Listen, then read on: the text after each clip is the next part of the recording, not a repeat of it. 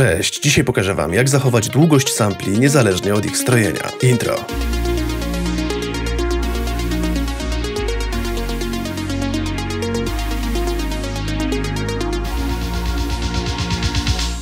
Wesprzyj mnie na patronite.pl. Dzień dobry moi kochani, witam was bardzo serdecznie w kolejnym Selfmade Tips. Jest wtorek, godzina 18, zaczynamy. W dzisiejszym odcinku zaprezentuję jak zachować długość sampli niezależnie od wysokości nuty. Sprawa być może nie będąca najbardziej palącą kwestią w trakcie produkcji bitów, ale jednak w niektórych przypadkach może być kluczowa. Przejdźmy zatem do rzeczy. Na potrzeby dzisiejszej prezentacji przygotowałem krótką próbkę tak naprawdę. Jest to zwykły hi-hat, do tego mamy 808 i snare.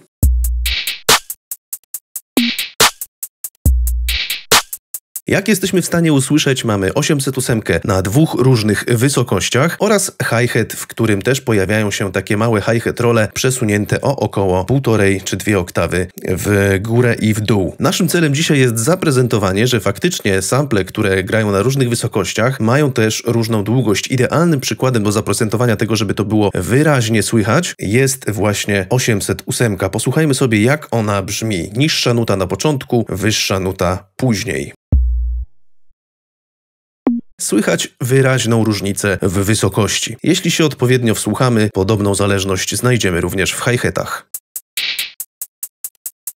Tych wyższych nut w zasadzie w ogóle nie słychać, one są tak krótkie i w związku z tym chcemy doprowadzić do sytuacji, w której sample, niezależnie od tego na jakiej wysokości wybrzmiewają, będą miały taką samą długość. Recepta na to jest stosunkowo prosta. Aby uzyskać taki efekt, moi drodzy, wchodzimy we właściwości sampla klikając go lewym przyciskiem myszy i w sekcji Time Stretching rozwijamy listę Mode i wybieramy opcję Stretch. To samo powtarzamy z 808 i w tym momencie będziemy mogli usłyszeć, że nasze sample grają na różnej wysokości, ale zachowują swoją długość.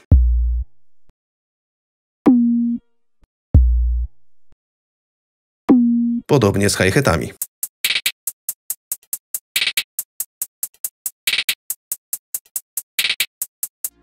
W 808 jednak słychać to zdecydowanie wyraźniej. No ale tak oto macie, jeżeli kiedykolwiek borykaliście się z tego typu problemem, myślę, że od tego momentu będziecie wiedzieli w jaki sposób go rozwiązać. A z mojej strony na dziś to tyle. Trzymajcie się ciepło i cześć!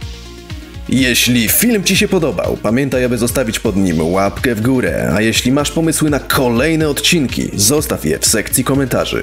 Ponadto, jeżeli chcesz być na bieżąco z kanałem Selfmade Beats, zasubskrybuj go i już dziś zacznij zgłębiać sekrety produkcji muzycznej.